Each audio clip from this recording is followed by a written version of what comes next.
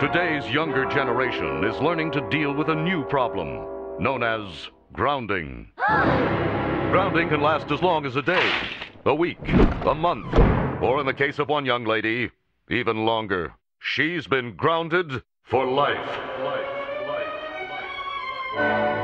You are not what's a teenager to do if she finds herself grounded for life?